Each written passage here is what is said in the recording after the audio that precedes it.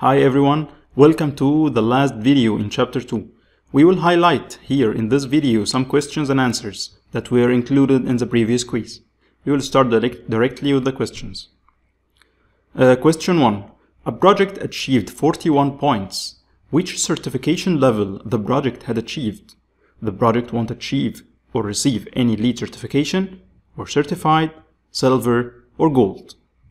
Here we should highlight that we should be able to memorize or recall uh, the number of points for each LEED certification level. For certified, it's from 40 to 49. For silver, it's from 50 to 59. Gold, from 60 to 79. So here, the only right option is certified. Question 2. What is LEED rating system? A group of subject matter expertise who provide green building solutions. A software to track green building strategies applied in the building. A reference guide to follow and apply to achieve sustainable functions. A program that provides third-party verification of green buildings. Here you will notice that many of the answers contain something right. For example, the third one, a reference guide. Yeah, there is a reference guide related to LEED. Software, it's not a clear or a direct answer. There are many softwares that can aid in LEED uh, process, but it's not LEED rating system. LEED rating system is not a software. There are many group of subject matters are involved in the LEED process, but that is not the answer for what is LEED rating system. The only right option here is a program that provides third-party verification of green buildings. Question 3. Which of the following is considered as hard cost? You should be able here to know the difference between a hard cost and a soft cost. The hard cost is related directly to the construction process. The soft cost is related indirectly to the construction process. So when we check the options here, we will see that the first option is Prex brought to site, and this is a hard cost. Other options, which are all soft costs, include consultation fees to prepare risk management analysis, permit fees to install plumbing system, third-party inspection services. All these are soft costs. Question 4. What are the project minimum size requirements for LEED BD plus C rating systems? 500 square feet, 100, uh, 1000 square feet, 2000 square feet, 5000 square feet.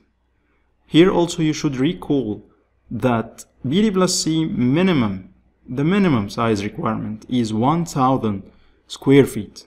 Less than 1000 square feet cannot achieve LEED certification. You should be able to recall it in the final exam.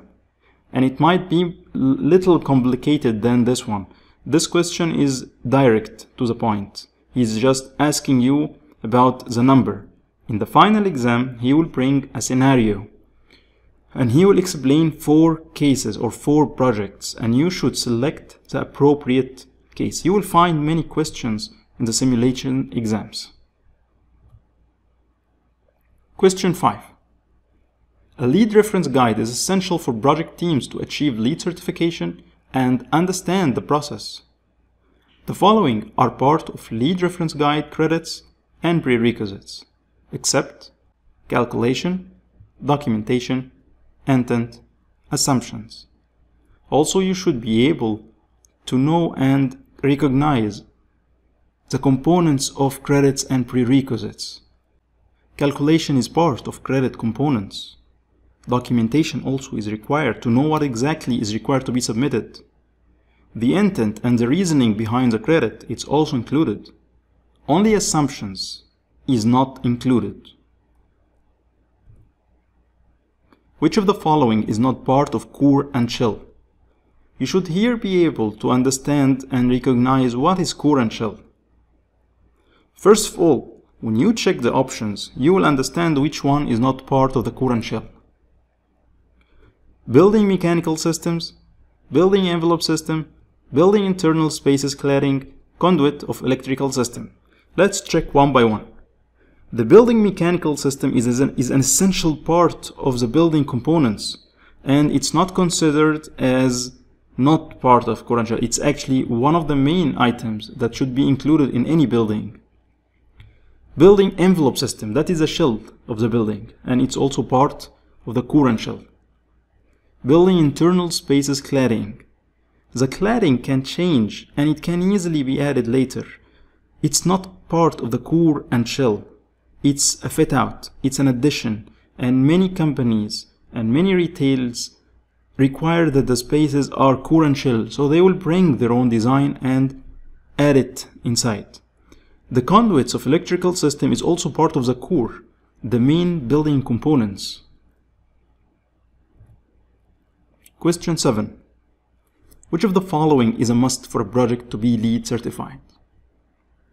To achieve 45 points from credits and all prerequisites, achieve 50 points from credits and all prerequisites, achieve 40 points from credits and all prerequisites, or achieve 35 points from credits and all prerequisites.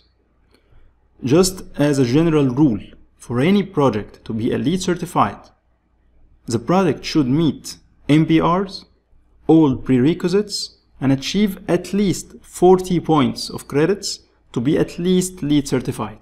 So the only option here that is the right answer is number 3. We came to the end of our chapter, chapter 2. In the next chapter we will be discussing integrative process. It will be an easier chapter, smaller chapter, and I believe you will have fun in this chapter. Thank you for listening and I hope you have learned something. See you in the next videos.